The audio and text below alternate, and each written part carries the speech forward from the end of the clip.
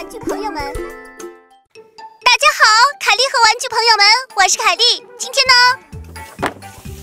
哒哒，拿着花店玩具一起来玩一玩游戏。那么现在我们开始玩吧。包装里面有，首先喷水器、喷雾器、多种多样的花瓣、花盆、三个花束、郁金香、硬币。收银台，最后还有，噔噔，花店玩具装在这里面啊！小朋友们，凯莉希望自己长得像花一样的美丽，所以凯莉下定决心开一个漂亮的花店铺了哟！噔噔，就是这个花店哟，花花哦，对不起，小朋友们。总之，凯莉准备了漂亮的花盆，还有各种各样的花束，还有一些道具哦。也许你们会问，怎么没有花呢？那是因为每个客人喜欢的花都是不一样的。凯莉要是接到预订单的时候，会拿着前面这些漂亮的花朵来给客人们做卖出去的商品的。嗯，客人来了，欢迎光临。呃，这是花店呢。你好，你好，我要买花呀！哦，不能不能，小海豹呀，你要去哪里呀？还戴上了这样的尖顶帽？呃，这不是凯莉的声音吗？你看不见我吗？真是的，你的尖顶帽都挡住了你的眼睛呢。噔，呃，是凯莉呀，你在这里干什么呀，凯莉？呃，凯莉吗，凯莉希望呢像花一样的美丽，凯莉开了花店了呀。今天是谁的生日吗？带点回去吧，你需要多少呢？小海豹，你买吧。今天是小浣熊的生日，我要去参加小浣熊的生日派对。那你需要买花过去的呀。如果生日的时候你的朋友收到花的礼物，他肯定会喜欢。呃，是吗？那我来看一下吧。呃，不过怎么把花都摘下来了呀？哎，不是的，不是的，这个呢是很特殊的。呃，花店呢？如果你来挑选你想要的花朵的话，凯莉会把花朵制作成花束或者是花盆送给你的。不过你选的花越多，价钱就会越高的。那么凯莉，呃，小浣熊好像喜欢蓝色还是粉红色呢？这朵花是不是枯萎了呀？再拿一个，这个我选了三朵花了。啊，好的呀，客人，你是需要做成花束呢，还是要花盆呢？啊，那就交给你了，凯莉，随你的便吧。那么插上去的话，噔噔，花朵插在这里，噔噔，就这样的话呢，非常漂亮的花盆就完成了哟。不过你再等等吧，还没有结束呢。这并没有枯萎，而是很特殊的花朵。看好了，给花浇水了哟，黄色的花哟。哒哒，黄色的花变成红色的花了哟。那么现在呢？你给我钱吧，给我钱以后你就可以走了。哦，这个好神奇呀，好好看呐。啊，你怎么了？呃，我对花过敏呢。给你钱吧。哦，那就太谢谢了。把钱放进这个收银台里，谢谢购买，请慢走了。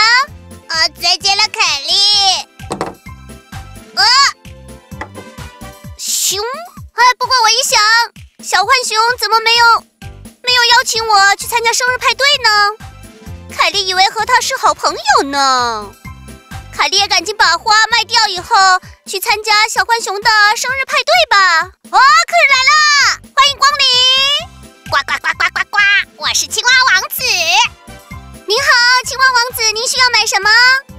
听我说吧，我打算呢向邻国的公主求婚，有没有适合的花呢？哦，您要求婚？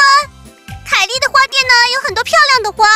您送给她凯莉家里的花朵的话，公主肯定会非常非常喜欢你的哟。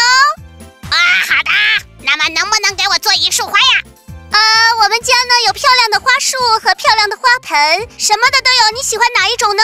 或者青蛙王子，你喜欢这样跪下来，然后双手举起给他献花的话，嗯，我觉得送花束比较好。但如果你打算给公主送一个悄悄的秘密的惊喜的话，我觉得送花盆是比较合适的。嗯。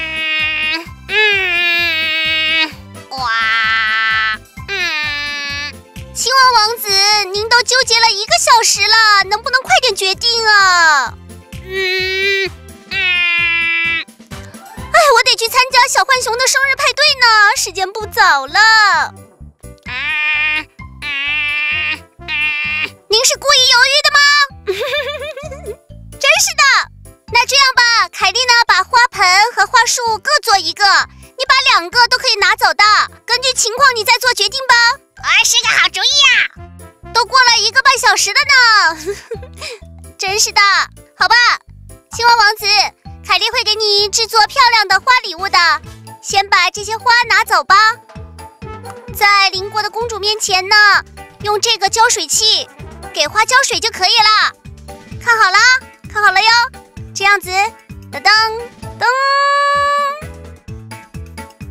是不是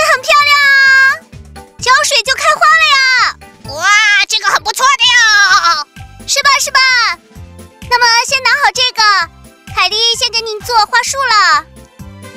反正今天卖不完的花，花朵都会全部枯萎的，所以凯莉呢要用很多很多的花瓣儿，很多很多花瓣儿。当当！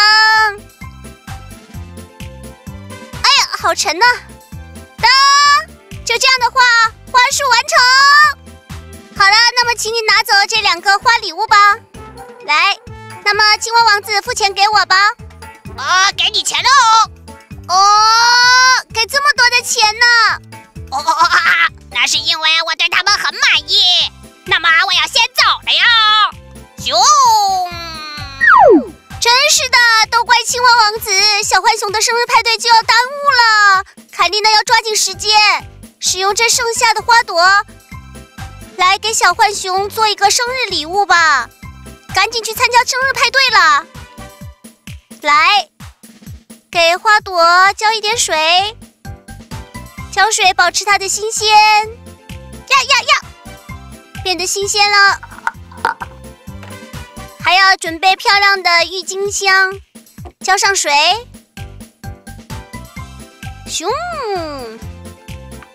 好，那么凯莉要去参加小浣熊的生日派对了。哟，今天呢，凯莉拿着花店玩具一起玩了玩游戏，小朋友们觉得怎么样？有意思吗？那么凯莉下次还会带来更有意思的玩具来分享哦。下次见。